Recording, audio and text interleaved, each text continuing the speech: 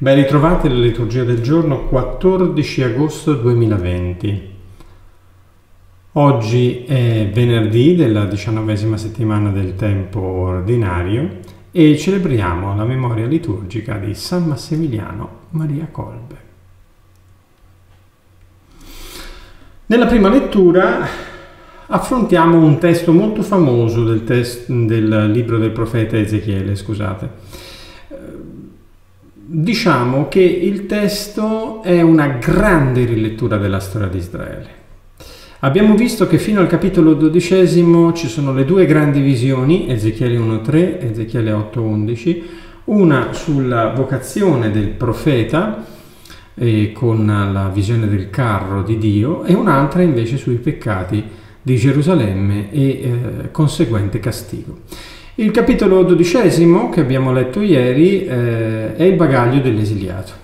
Che cosa succede dopo questo? Il testo del profeta Ezechiele, che come vi ho detto più volte è eh, marcato con date, mese, giorno e anno di ogni profezia, si interrompe per quattro anni.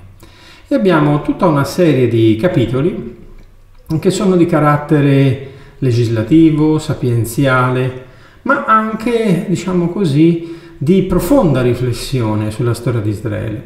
E il capitolo sedicesimo è certamente l'affresco più ampio e anche forse più profondo, ma ne seguiranno poi altri due, il capitolo ventesimo e il capitolo ventitresimo. E qual è la logica di questo racconto? Beh, eh, il Signore vuole mettere in evidenza quanto Israele sia stato completamente irriconoscente e c'è una storia che lo dimostra. E i suoi abomini allora sono ancora più esecrabili, se possibile. Alla tua nascita, quando fosti partorita, non ti fu tagliato il cordone ombelicale, non fosti lavata con l'acqua per purificarti. Tu sei per origine nascita del paese dei Cananei. Tuo padre era un arameo e tua madre un'ittita. Quindi eh, tu non avresti avuto, diciamo così, lignaggio regale o in qualche modo eh, motivo per il quale io ti avrei dovuto scegliere, assolutamente. L'unico motivo viene sottolineato con l'occhio pietoso che non si volse verso di te per farti una sola di queste cose, non ebbe compassione nei tuoi confronti, ma come oggetto ripugnante il giorno della tua nascita foste gettata via in piena campagna. Passai vicino a te, ti vidi mentre ti battevi nel sangue e dissi, vivi, nel tuo sangue e cresci come l'erba del campo. Ma eri nuda e scoperta, il che sta a indicare ovviamente che non avevi nessuna dignità agli occhi praticamente di nessuno e non avevi nessuna possibilità di vanto alcuno. Ecco allora che passai vicino a te e ti vidi, ecco la tua età era l'età dell'amore. E addirittura Dio la adorna di gioielli, braccialetti, polsi, collane al collo, al naso un anello, orecchini, c'è tutto l'agghindamento, diciamo così, femminile dell'epoca. E divenisti più bella e giungesti fino ad essere regina la tua fama si diffuse fra le genti, la tua bellezza era perfetta, ti avevo reso uno splendore, parola del Signore. Ma poi, eh, ma poi, tu però infatuata per la tua bellezza e approfittando della tua fama, ti sei prostituita, concedendo i tuoi favori ad ogni passante. Eh, sarà molto dura l'accusa, qui il testo ovviamente è stato ampiamente tagliato, e viene ricordato nella sua parte finale. Mi ricorderò dell'alleanza conclusa con te al tempo della tua giovinezza e stabilirò con te un'alleanza eterna, perché te ne ricordi e ti vergogni nella tua confusione.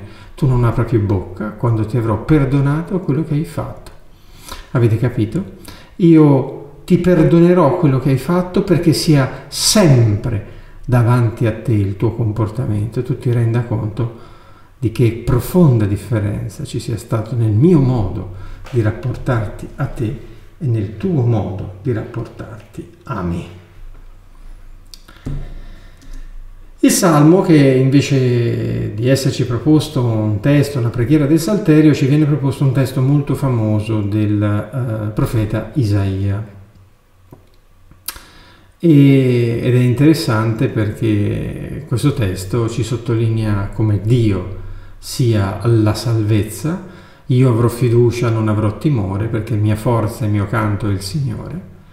Attingerete acqua con gioia alle sorgenti della salvezza, Proclamerete fra i popoli le sue opere, fate ricordare che il suo nome è sublime. L'esperienza della salvezza scioglie la lingua, dovremmo sempre tenerlo profondamente a mente.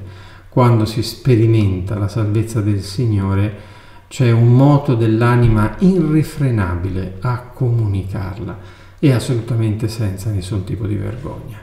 E infine conosca tutta la terra Cantate al Signore perché ha fatto cose eccelse, perché grande in mezzo a te è il Santo di Israele. Il testo del Vangelo oggi eh, affrontiamo il capitolo diciannovesimo del Vangelo di Matteo e affrontiamo una grande questione che viene posta a Gesù, la questione sul matrimonio e in particolare se esista ancora, se sia ancora in vigore la legge di Mosè che per qualunque motivo il marito può rimandare indietro la moglie. Ci fermiamo un attimo, lo ascoltiamo questo testo e poi lo commentiamo insieme. In quel tempo si avvicinarono a Gesù alcuni farisei per metterlo alla prova e gli chiesero, è lecito a un uomo ripudiare la propria moglie per qualsiasi motivo? Egli rispose, non avete letto che il creatore da principio li fece maschi e femmina e disse, per questo l'uomo lascerà il padre e la madre e si unirà a sua moglie e i due diventeranno una sola carne? Così non sono più due, ma una sola carne. Dunque l'uomo non divida quello che Dio ha congiunto. Gli domandarono, perché allora Mosè ha ordinato di darle l'atto di ripudio e di ripudiarla? Rispose loro, per la durezza del vostro cuore Mosè vi ha permesso di ripudiare le vostre mogli. All'inizio però non fu così. Ma io vi dico, chiunque ripudia la propria moglie, se non in caso di unione illegittima e ne sposa un'altra, commette adulterio. Gli dissero i suoi discepoli, se questa è la situazione dell'uomo rispetto alla donna, non conviene sposarsi. Egli rispose loro, non tutti capiscono questa parola, ma solo coloro ai quali è stato concesso Infatti vi sono eunuchi che sono nati così dal grembo della madre, e ve ne sono altri che sono stati resi tali dagli uomini, e ve ne sono altri ancora che si sono resi tali per il regno dei cieli. Chi può capire, capisca.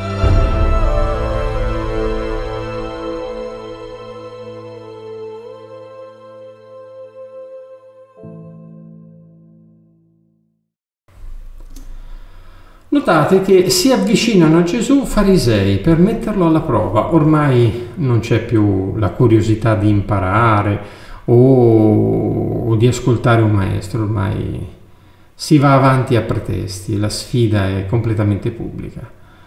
È lecito a un uomo ripudiare la propria moglie per qualsiasi motivo?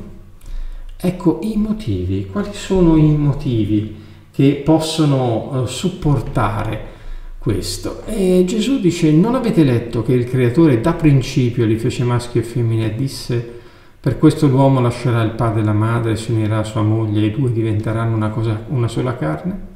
Così che non sono più due, ma una sola carne. L'uomo dunque non divida quello che Dio ha congiunto.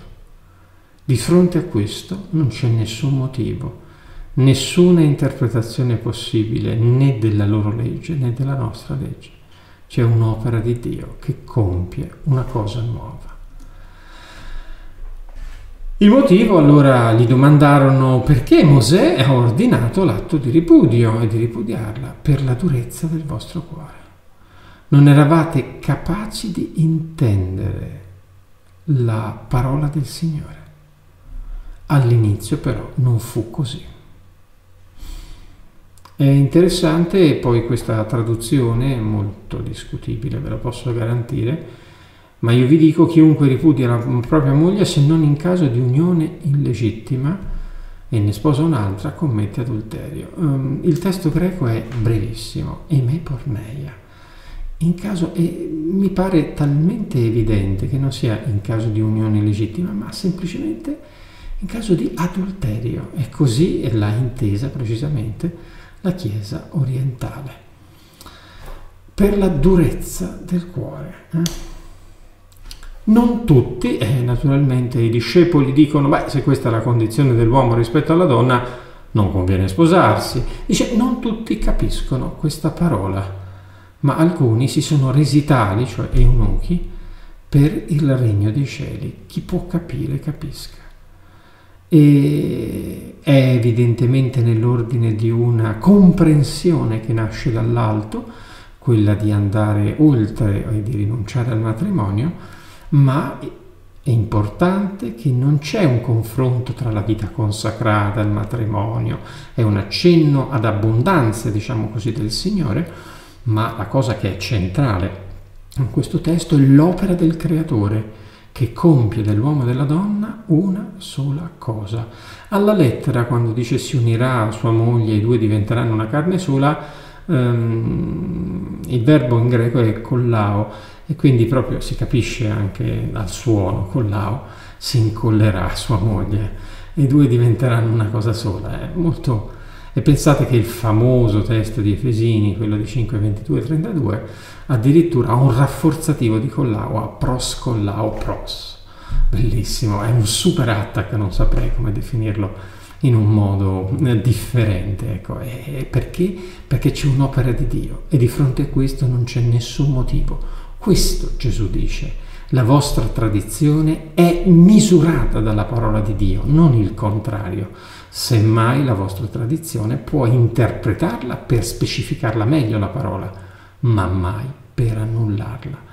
E questa cosa deve contraddistinguere tutte le generazioni che ascoltano la parola di Dio con vera onestà, anche se alle volte come discepoli poi si può rimanere anche un po' perplessi, no? Dice ma spiegaci meglio questa cosa, l'avevamo capita in un'altra maniera, così non ci sembra eccezionale. Vediamo però che cosa possiamo portare a casa per la nostra vita da queste letture che abbiamo ascoltato adesso. Prima di tutto la riconoscenza, quella che è mancata nella, nell'accusa che il profeta Ezechiele fa nella prima lettura. Il popolo non ha avuto riconoscenza per tutti i doni, a partire da quella dignità, dalla vita e dalla dignità, che ha, donato a qualcosa che non aveva speranza di vita. Ecco, essere riconoscenti e si impara a essere riconoscenti prima verso gli uomini, riconoscendo che ciò che ci donano non è un dovuto, ma è un gratuito il più delle volte, e poi piano piano si impara a riconoscere anche che cosa si debba a Dio. Chi vive naturalmente all'interno della nuvola del suo egoismo, non ne abbiate paura, pensa sempre di bastare a se stesso, di non aver bisogno di nessuno e di non dover mai chiedere nulla. Purtroppo per il 98% delle cose invece dipende moltissimo da Dio, ma anche dagli altri. L'esperienza della salvezza è il testo di Isaia, utilizzato come salmo responsoriale, che eh, scioglie la lingua, dicevo prima, cioè scioglie la nostra vita.